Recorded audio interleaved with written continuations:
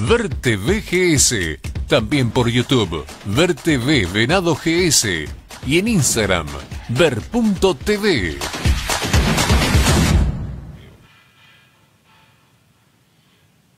Acá estamos de regreso, estamos con invitado, con Germán Mastri, a quien le agradecemos la, la visita. Primera nota, ¿no? ¿Postelectoral? ¿no? ¿Oíste alguna Sí, primera nota. Primera por- Bien. Postelectoral, primera nota. Gracias por Bueno. la invitación, Juan. Saludo a toda la audiencia de Ver TV. Bueno, ya pasaron algunos días, digamos, ¿no? De lo que fueron la- las elecciones. Eh, lo charlábamos en la previa, que hicimos algunas, algunas notas.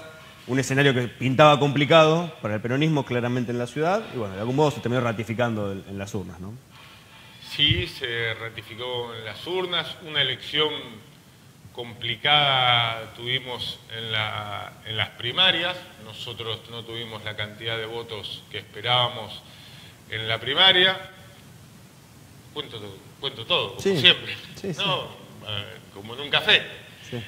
Pensábamos dentro del justicialismo que iba la elección nacional nos iba a traccionar en un poco más de votos eh, y bueno, también fue una elección para Venado Tuerto, una elección donde el justicialismo no cosechó la cantidad de votos que esperábamos.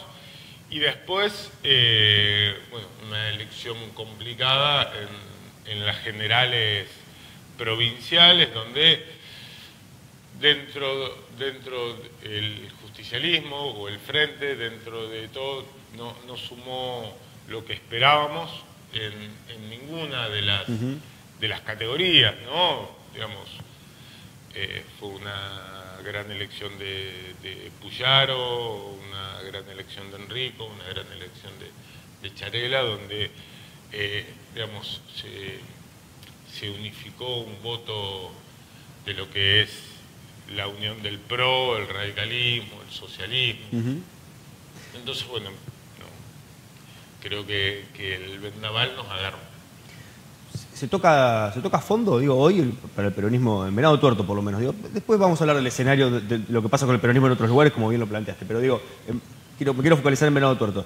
¿Se toca a fondo, digo, porque es una situación nunca vista? Digo, que de cinco bancas el, partido no logre ninguna de las que estaban en juego. Sí, eh, no se logró ninguna de las bancas y, el tocar fondo como frase hecha yo no, no- no- no la tomo. Creo que, que- que siempre hay que mirar la, la política desde el punto de vista positivo, Mm. de- desde la construcción. Digo, el, Eh, el tocar, los- fondo, el tocar fondo también como, como punto para empezar a, vol- Sí, para volver a despegar también, ¿no? Digamos, los que hacemos política tenemos, creo, la obligación de ser positivos, ¿no? Porque hacemos política para transformar las cosas, para mejorar realidades. Eh, y los diagnósticos tienen que ser en esto la mayoría de las veces positivos, ¿no? Eh, comparto esto, ¿no? Eh, creo que tenemos que construir alternativas, ¿no? Y, y en la construcción de alternativa, eh, o no pude, o no supe, o, o- o no lo pude realizar, ¿no?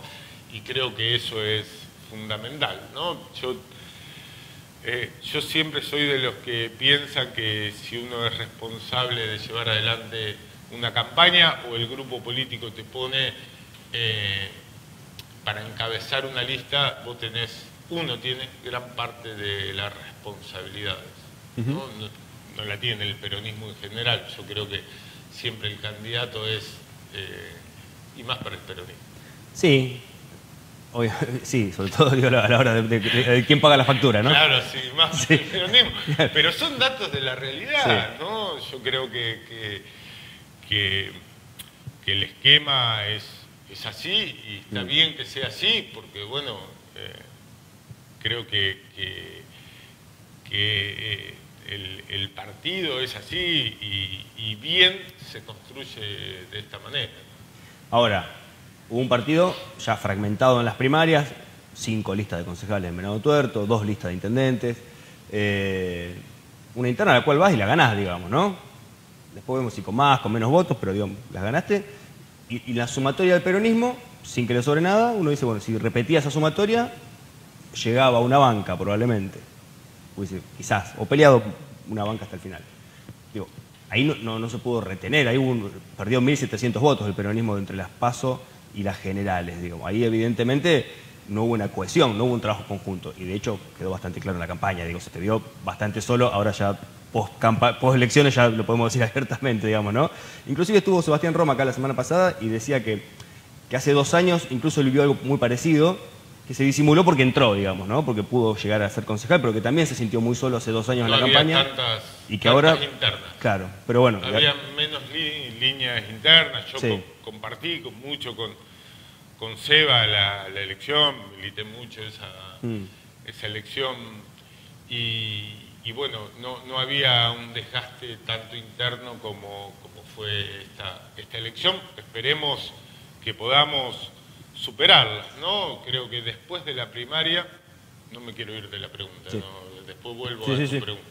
Después de la primaria, eh, y creíamos que la elección nacional nos iba a unificar un poco, y no fue tan así, pero uno ve un montón de compañeros del justicialismo que, que lo acompañaron. No pudimos obtener la totalidad de los votos del justicialismo, pero bueno, se obtuvieron bastantes ¿no? votos, sumamos, pero no, llegamos al objetivo, por supuesto, deseado, querido, de que tiene la banca. Pero si uno analiza, y acá me voy del rol de, de, candidatos y, mucho más de, de, politólogo, ¿no? Uno, a ver, para no marear a la gente, mm. Ciudad Futura saca la misma cantidad de votos en la primaria, saca 4.500 votos más o menos en las dos categorías. El peronismo saca unificado 6.500 votos en la categoría de concejal, cinco listas como decís vos. Y bueno, Ciudad Futura Intendente en las generales saca... Repite lo mismo, sacó lo mismo que en, las, que las pasó, 4.500 votos. Bueno, y, sube, y sube 2.000 votos en, la, en concejales esos votos, mm. muchos se presume, se puede analizar que eran votos del justicialismo que no, que no nos acompañaron por una cuestión o, grupal o personal.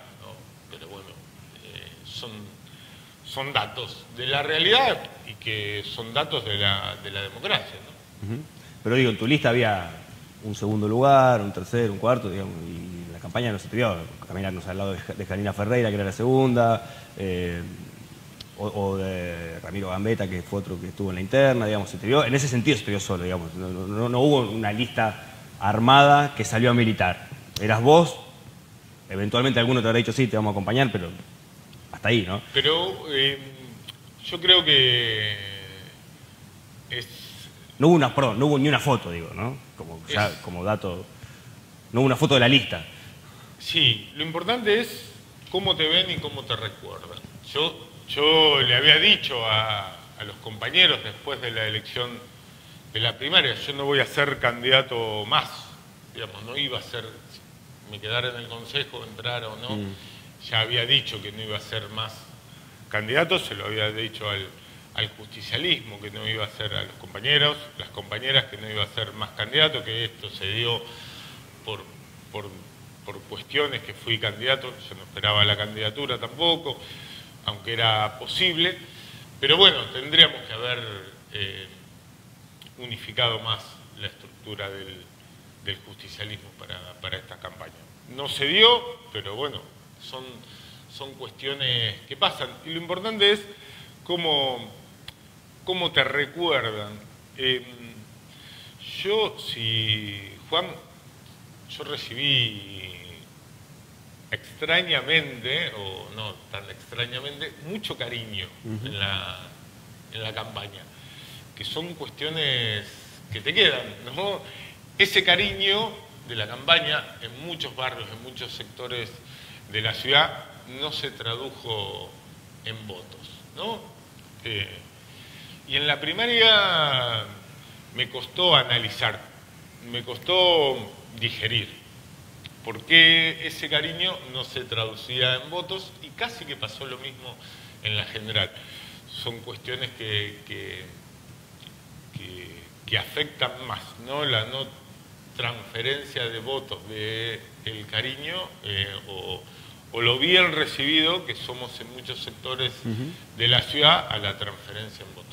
Seguramente... Es importante eso, es Sí. una cuestión... Sí, sí. eh, yo voy a un barrio, o te, te invito a ir a un barrio, a una recorrida conmigo, va a recibir mucho cariño. No lo pudimos traducir, a lo En mejor... votos, claro. Sí. Bueno, habrá que ver por qué, digamos. ¿no? Ah, ah, exactamente. Digo, seguramente esta semana estuviste viendo, escuchando declaraciones de distintos dirigentes del peronismo, analizando esta situación. Poco. Bueno, te habrás enterado más o menos, sí, ¿no? sí, me Bueno, enteré, pero, bueno, pero no, no títulos, Bueno, no notas completas. eh, concretamente hubo un sector que salió a cargar responsabilidades contra José Freire, contra todo el espacio de pertenencia en el cual vos claramente sos un referente. ¿Cómo tomaste eso? Eh, y, y en algún punto crees también que, que había sectores esperando que este resultado para, para, ese- para tener ese discurso? Primero, yo soy de las personas que, que piensan que, que hay que unificar y no romper. ¿no? Digamos, la política está de la construcción, desde la construcción, no desde la destrucción. Eh, y, y- y quizás era el momento menos indicado de realizar las críticas, porque tenemos una elección nacional importante y porque también esas críticas lo alejan de, todo el justicialismo, ¿no? Yo perdí la elección, ¿no? Si tengo que hablar con cualquier compañero de cualquier línea política es, estoy para ayudar, no voy a ser nunca más candidato, estoy para ayudar a cualquiera de las... Por supuesto tiene, tengo mi, mi grupo político, pero, pero estamos para ayudar, no para decir no para señalar con, con el dedo, ¿no? Digamos, eh, y, y además en el justicialismo, qué sé yo, el ABC de las de- Mm. del justicialismo es las internas se dirimen en una elección, no se, no se dirimen con conferencia de prensa. Yo creo que es la mejor forma, ¿no? Una elección, fuiste. Em, nosotros fuimos, es más, fuimos a una elección con una distrital. Los fondos de campaña venían de nuestros bolsillos y del bolsillo mío y del bolsillo grupal, ¿no? No, no teníamos una estructura, gastamos muy poquito.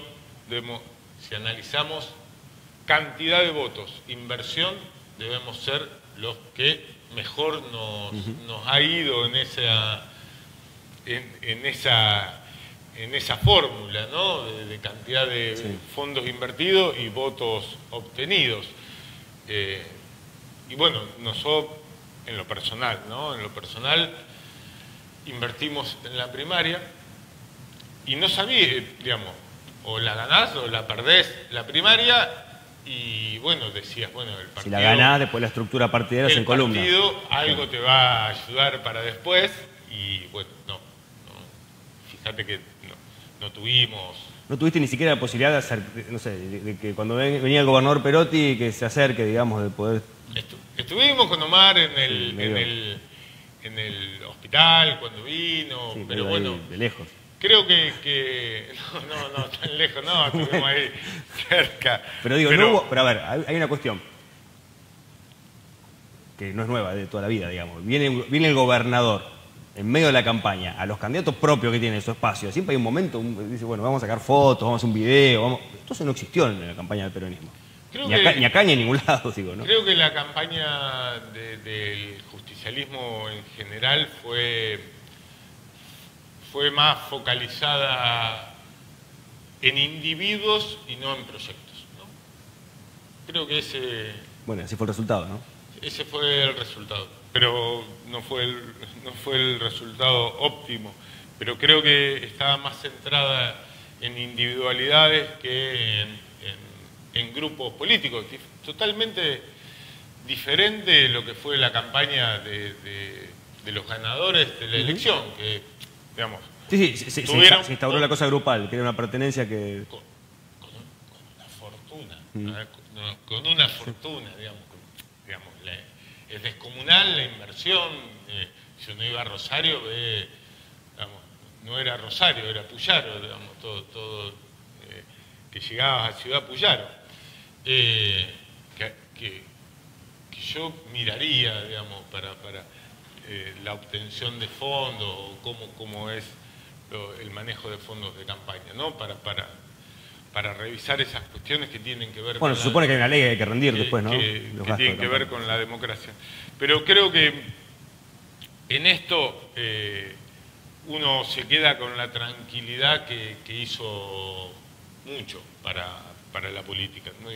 Para, para la elección, para que el peronismo saque una buena, tenga una buena elección. Dijiste no voy a ser nunca más candidato.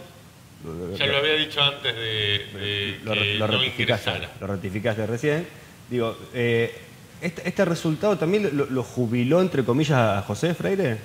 ¿Fue candidato? No, por eso te pregunto. No. Su Creo que- ausencia, digo, porque estuvo muy ausente en la campaña, se vio muy poquito, digamos, ¿no? Creo que... Y, y además en un, perdón, y, y en un año donde hubo un montón de cargos a cubrir, diputados, senadores, concejales, intendentes, diputados nacionales, ¿no? Estuvo llamativamente al margen, digamos, no fue candidato a nada, cuando uno, bueno, es una figura relevante, a dos años de intendente, digamos, y, llamativamente, no sé si por decisión propia o por, lo que sea, digamos, no, fue protagonista, digamos. Parte, creo, una decisión personal, parte una responsabilidad política de, de él, de estar, por pedido del gobernador, muy cerca de los 365 municipios y comunas. Si una de las mayores críticas del- del- de la oposición al gobierno provincial, infundada crítica, tenían que ver con la discrecionalidad en la obtención de los fondos de cada municipio, cada comuna.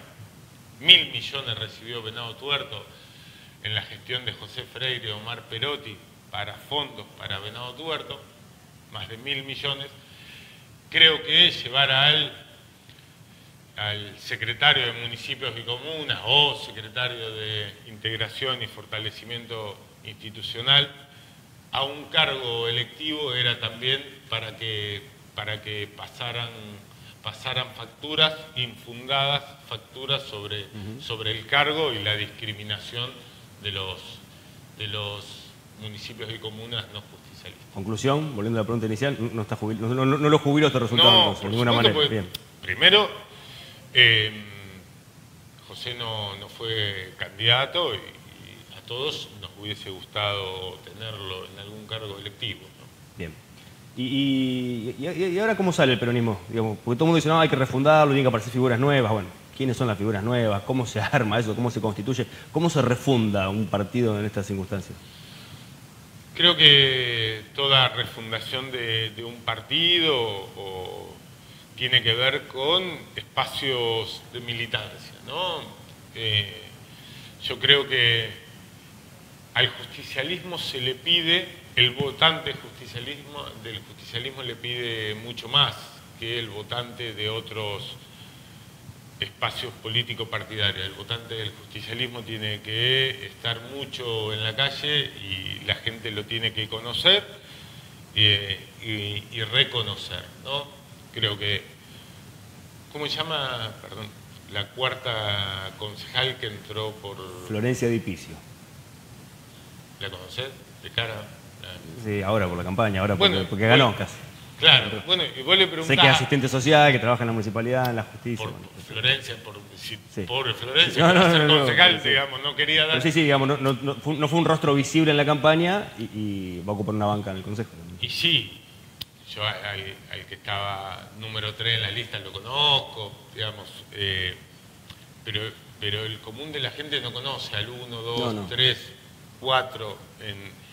al peronismo le pedís eso, le pedís el conocimiento. Eh, las listas tienen que ver, que, a- que se armó y se arman desde el justicialismo también tienen que ver con eh, vecinos y vecinas comprometidos con una realidad, que tengan conocimiento, que tengan militancia, que tengan trascendencia. Nosotros miramos mucho eso en el armado de una lista, ¿no? A los otros partidos no se le pide tanto eso. Bien. Así que la refundación tiene que ver con ese trabajo, esa construcción, con caras también nuevas, eh, yo no digo jóvenes, digo caras nuevas, puede ser, eh, eh, y, con la ayuda de, de- de las caras que siempre estuvieron. Nosotros, cuando yo fui concejal a los 33, 34 años, 35, no me acuerdo, también tenía mucha ayuda de las caras que ya venían militando en el justicialismo. Y hoy mis mayores amigos que tienen que ver eh, con los que más comparto un mate, una cena, tienen que ver con, con nuestros viejos militantes, ¿no? que son los que nos siguen enseñando. O sea, no hay que tirar a nadie por la ventana, ¿no? Como Pero por la- supuesto. La vieja frase. No, no, por supuesto que todos los compañeros, yo disfruto hablar con, con los viejos militantes o los antiguos militantes o las personas que militaron desde siempre. Disfruto mucho, es lo que más me acerca al justicialismo, es decir, toda esa pasión que, que- que hubo en esa persona que es la que te ayuda a seguir militando. Y uno quiere tratar de, de seguir con, esa, con ese espacio de militancia. Te cuento una para un Dale. amigo, Emilio, me llama esta semana, la semana pasada a casa, me llama a la casa de él, voy a visitarlo, tomamos unos mates y me dice, Tomás Germán, esto es para vos, unos libros del justicialismo histórico, libro del 52 eran, ¿no? Y creo que ¿Fue un regalo o te mandó a estudiar, no? no, fue un no, regalo, bueno. fue un regalo. No, Emilio, un amigo, fue un regalo. Y me dijo, muy buena, está, está filoso. Me dijo, eh, yo encontré a quien dárselo, Sí. eh, es tu responsabilidad que nuevos compañeros militen en el peronismo y vas a encontrar dentro de un par de años a quien dárselo. Bien. Y es lo que te llena. Bien. Gracias, Germán. Bueno, muchísimas gracias Juan, muchísimas gracias por supuesto a toda la audiencia. Vamos a la pausa, ya volvemos. Ver TV, la nueva imagen de Venado y la región. Somos regionales. En Santa Fe, Venado Tuerto, señal oficial Venado Visión. Carmen, El Hortondo, Santa Isabel.